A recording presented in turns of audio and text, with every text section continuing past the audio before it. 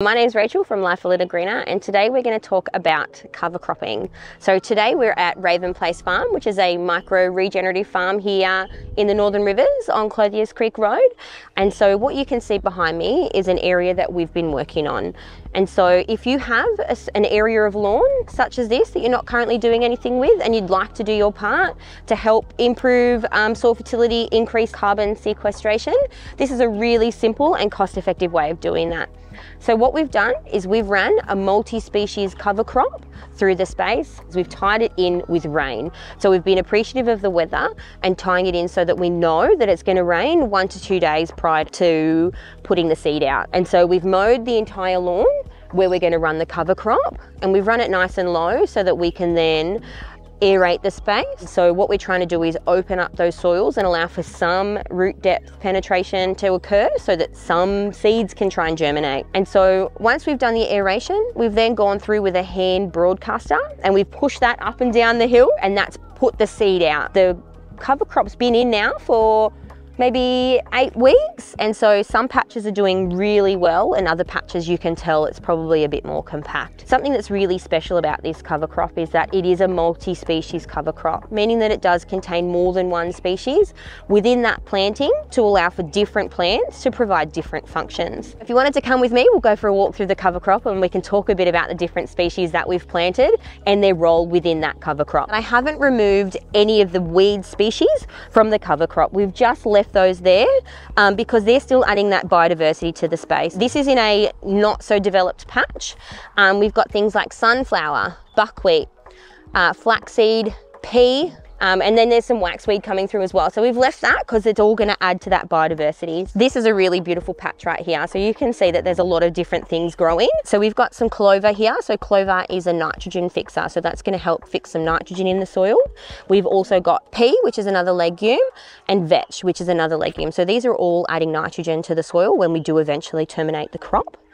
Uh, we've got things like daikon radish daikon radish is a really long radish and that's going to help send down that big taproot and open up those compact soils.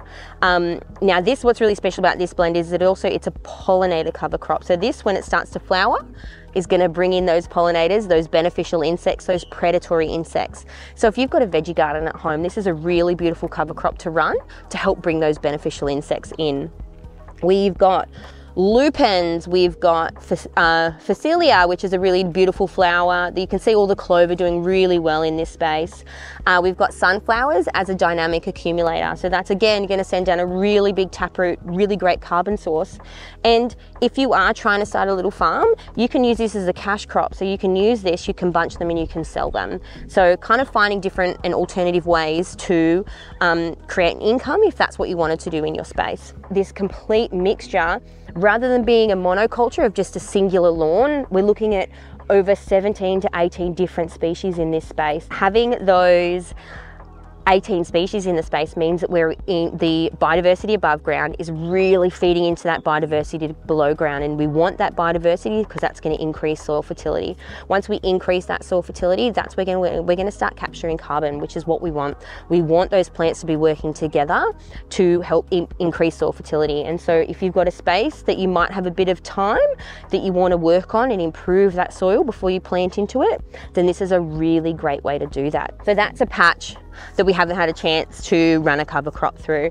And so as you can see, it looks hot, it looks arid. If we get a heavy downpour, all of that topsoil is just gonna come off. And so it's really important that I do get my act together and run a cover crop on that space so that we don't get that. So thank you for following along. If you have a few acres of land, it, doesn't need to be a lot, and you're looking at ways that you can increase soil fertility, help with erosion, and start prepping your area if you did want to start a food forest or something along those lines, I highly recommend running a multi-species cover crop through that space like we've done here.